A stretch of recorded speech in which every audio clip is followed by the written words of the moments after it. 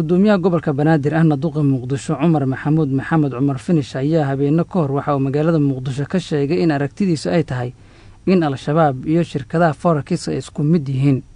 Sidoo kale gudoomiyaha waxa uu hore u sheegay in ay khatar ganacsi oo weyn ay yihiin shirkadaha forakis dadka ka shaqeeya islamarkaana ay ka soo min guuriyeen dibadda dhaqaalaha soomaaliya la doonayo in lagu baabi'iyo. Bankiga dhexe ee soomaaliya ayaa sidoo kale bilaabay fariimo wacyigelin ah oo warbaahinta soomaalida qaarkood loo qeybiyey kuwaas oo dadka looga digayo inay maalgashadaan shirkadahan. Dad kale ayaa u arka in shirkadahan ay yihiin kuwo wanaagsan laakiin dagaal ganacsi oo xoog leh oo kala dhexeeyo bangiyo iyo xawaalado ku yaalla dalka. Dowladda soomaaliyana ay shatiyo siisay oo ay diiwaan gelisay haddana ay dagaal kale kula jirto. Dadka aragtidaa qaba waxaa ka mid a guddoomiyihii hore ee gobolka hiiraan. Yuusuf axmed taagar dabageed oo sheegay in dowladdu ay lacaga ka qaadatay shirkado isgaarsiin xawaalado iyo bangiyo si loola dagaalamo dhallinyaro soomaaliyeed oo maskaxdooda maalaya oo dalkan dhibaatadiisa u dulqaatay oo shaqo abuur noqday. Dhallinyaradu laftirkooda waxay qabaan inay isugu jiraan kuwo wanaagsan iyo kuwo xun.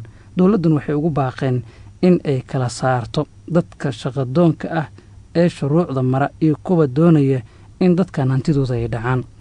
Guddoomiyaha shirkadda camil forks maxamed buulle ayaan weydiiyey farqiga u dhexeeya shirkadahan dalka ka jira iyo sida lagu ogaan karo kuwa dadka dhaca ama hantida ka qaata iyo kuwa shaqadoodu ay sax tahay iyo sida u arko hadalkii guddoomiyaha gobolka ee ahaa in al-shabaab iyo forex isku mid yihiin. Niyahow forex waa suuqa sarifka lacagaha qalaada ee online-ka ah. Waayadan dambana waxaan u malaynaya hadalhaynta ugu weyn ee wadan ku soo korodha weye marka markaad tidhahda forex ama cidda ka ganacsata suuqa howlo badan baa taalla laakiin waan aaminsannahay in shirkado qaarna run noqon karaan kuwana been noqon karaan. Marka waa masalo u baahan in maskax furan lagu wajaho. Maalmaha aadaa loo hadalhayaa ilaa waxay gaartay heer oo ay dowladda maamulka gobolka banaadir ka hadlaan.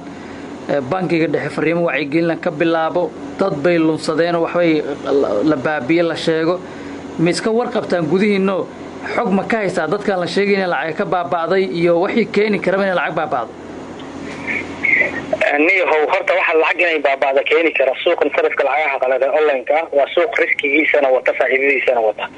Waxaan ka wadaa waa suuq ay fududa in wax la lumiyo ama in wax la hela labadaba ay fududa marka haddaadan cilmi ulahayn ama wixii aad aqoon dheeraada ulahayn oo aadan suuq inaad ka gasho marna bay tirahda marna sayl tirahda inaad soo cilmi degdegto oo aad wax khasaarisa aad bay u fudud laakiin haddaad tahay qof aqoon u leh oo wixii maaragta risk managementiga iyo nidaamka isticmaalaya ay degan yihiin waa suuq faa'iido laga samayn karo haddana ay maaragta macquul tahay in laga noolaado.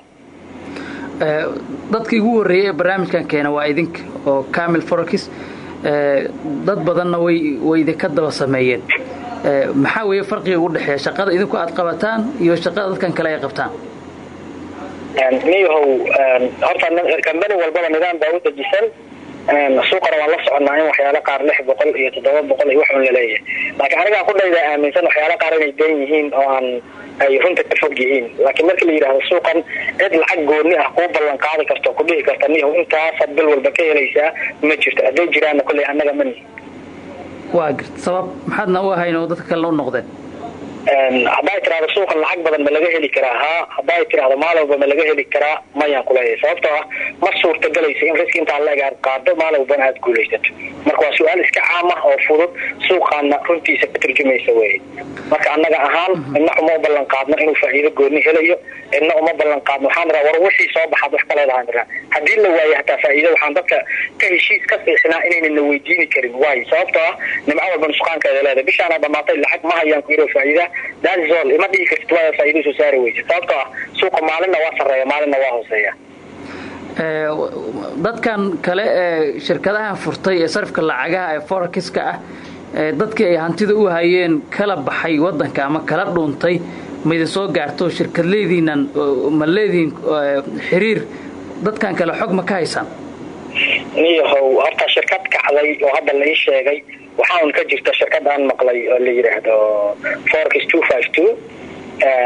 ninkaasna waxaa weeye forex lady waxay samaysteen urur way la kulmeen way la fadhiisteen way walaysteen sida wax u dhaceen horta ninkan dhahaya forexaan ka ganacsanaya ama yarkan maxamed tahliil nin asaga ganacsanaya mehe waa nin system isticmaalaya systemku isticmaalayana waxaa la yidhaahdaa hajin weeye laakiin hajinkana hade anugu suuqa dhimanha noolaana u aqaana istaraatiijiyada noocaas ah ma garatay marka istaraatiijiyad lacag laga samayn kara inay ahayn asna waa qirsan yahay.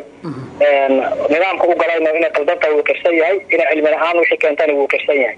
Intaba wuu qirsan yahay. Marka waxaan isdhihi karaa dadweynaha horta marka hore dadka marka lacagta loo dhiibanayo xafiis inaad iska tagto qof meel fadhiya lacag inaadan iskala ordin horta hubisa shirkadaad u tagayso waxaad u dhiibanaysa nidaamkeeda waxeeda markuu ku qanciyaan laakiin yaan lagu ordin faa'iidada beenta ay la sheegaya marka see lagu hubin karaa meeshan dee shirkadu waa wada badan yihiin waa la wada furtay sarif lacaga laga wada shaqeeyaa in qofkan hanti lagu aamini karo kanna aan lagu aamini karin see dadku ku ogaan karaa niyo sida dabeecad u ah dhaqaalaha ama lagu yaqaano dad markay is aaminayaan wax inta badan horta laisweydiiye waa physical asset.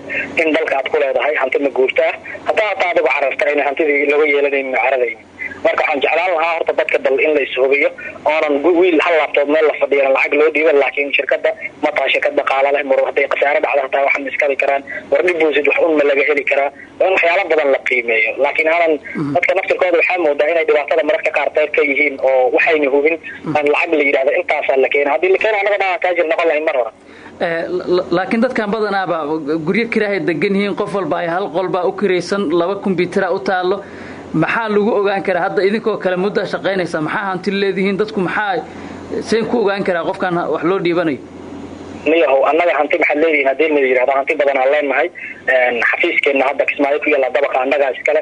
Maka almukarama immigration ka soo horjeeda dabaqa dheer oo kale annagaa iskale waxaa weeye waxaan nahay dad suuqan itus oo taabsi ka gaaraan nahay. Marka laakiin ma aha inaan aan leenahay intaasa soo saarnaa dadkan boqolkiiba konton ama boqolkiiba toddobaatan ama lixdan dhaha ama soddon dhaha intaba kama midnihin kumana jirno wixii soo baxa mararka qaar ay zira soo baxdaa.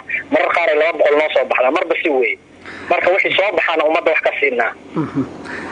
Meelaha qaar waxaa dhacda in qofku lacag uu dhigto.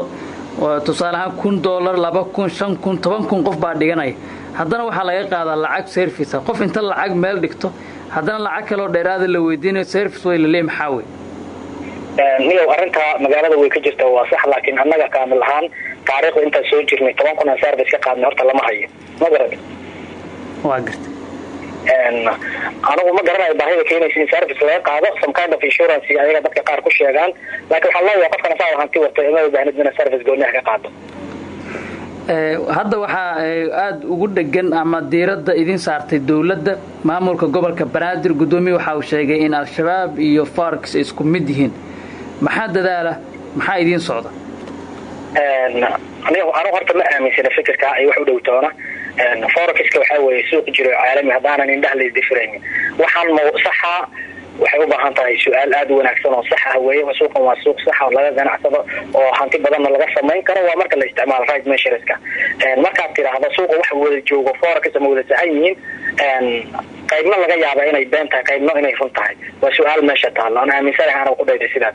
Laakiin fikirka ah waxaan la xagjireeyo la yidhaahdo qaaraa shabaab oo kan la yidhahdo waxaan u arkaa dacaayad ku salaysan shari qayr waxay tahay waxana la dhaafiyo maxaa hal noqon karaa? Dadku waa dhiban yihiin oo ay dad badanee lacaga ka maqan tahay.